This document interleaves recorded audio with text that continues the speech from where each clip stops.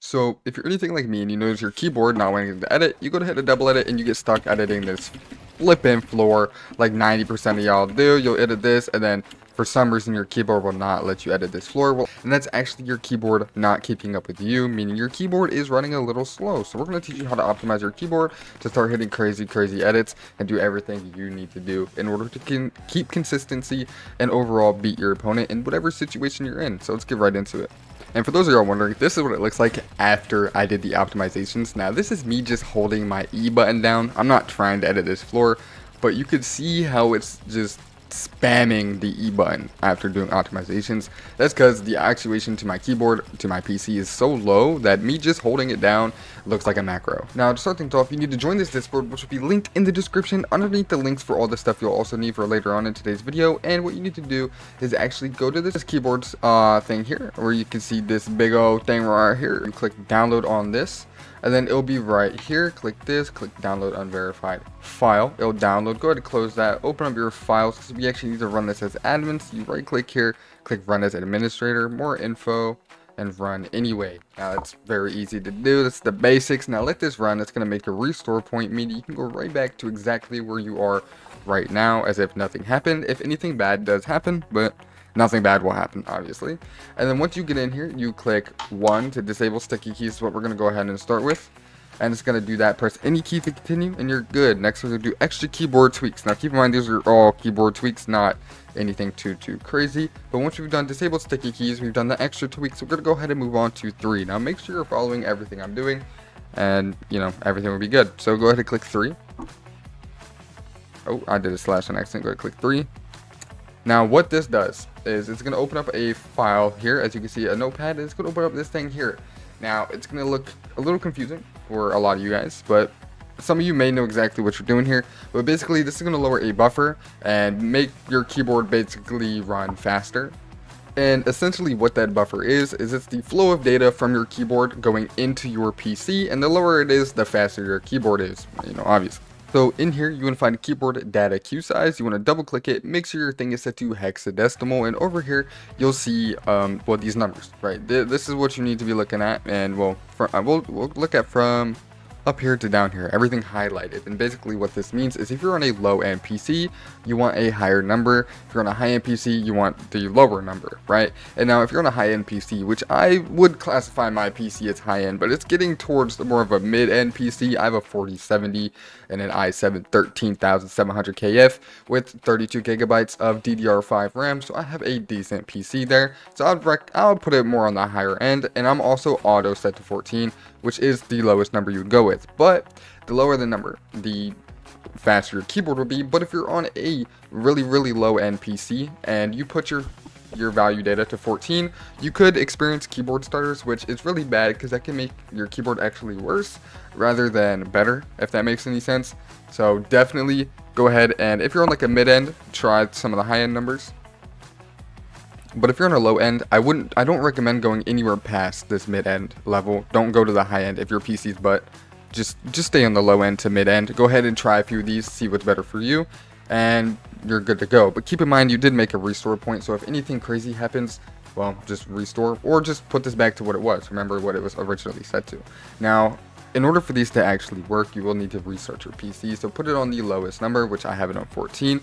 As as you can see, the high end is 14 through 16. So anywhere from between 14 through 16, put your keyboard to, make sure it's on hexadecimal, click OK, go ahead and close all this, and then you're good to restart your PC.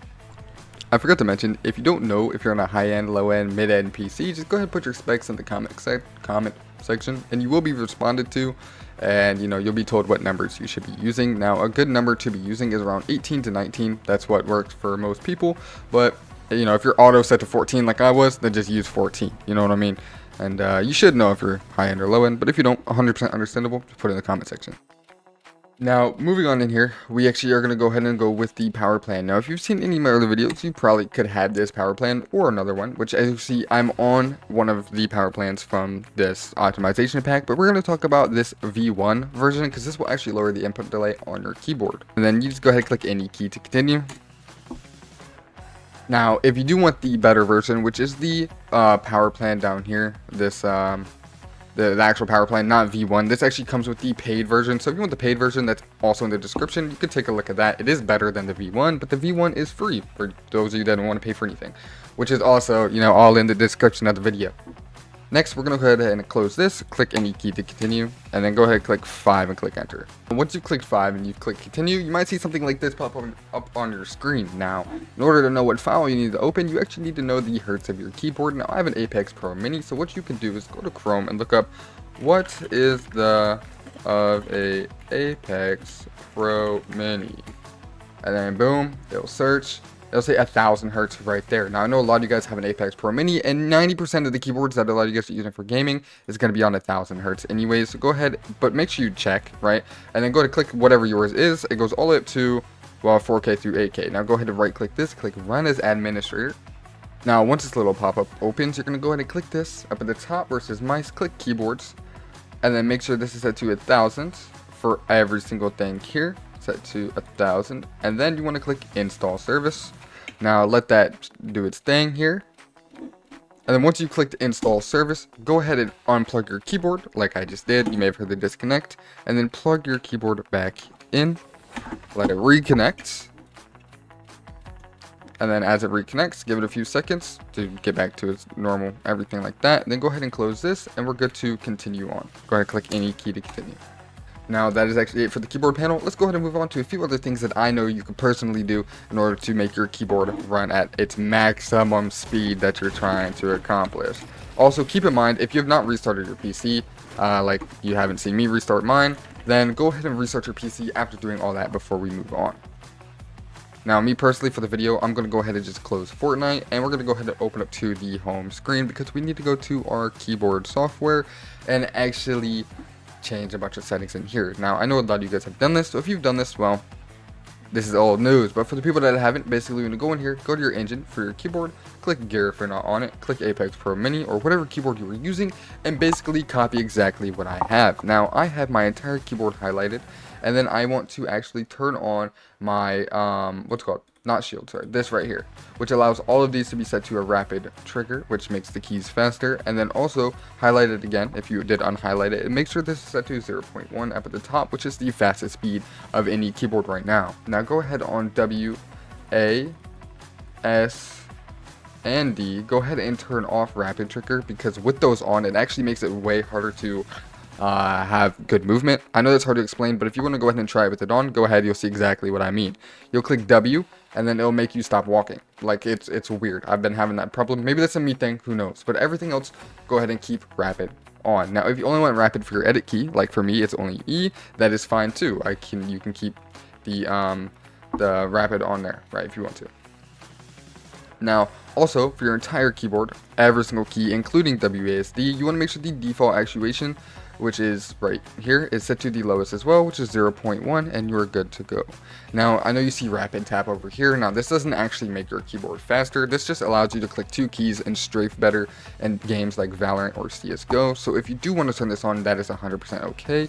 And no, you won't get banned for rapid tap in any games you play. It is 100% allowed. But basically, it just helps you with strafing.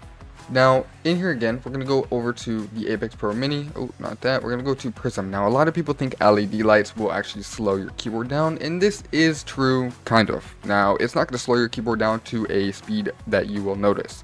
Now, that mean meaning is if you want lights on your keyboard, have lights on your keyboard. It's not about to change nothing, okay? Having lights on, having lights off, whatever. You ain't going to notice the difference, and if you do, you're a freak. Hey, I'm going to say it here, buddy. You're weird all jokes aside, you are a little nerd if you do notice the difference between that, but other than that, that is it for today's video. If you did like the video, make sure you like, subscribe, share it to your friend, check out the description for every single link that you need that was talked about in today's video. Don't forget to restart your PC, and if your PC grew legs and walked away, you have a restore point now. Thank you guys so much for watching. I'll see y'all later.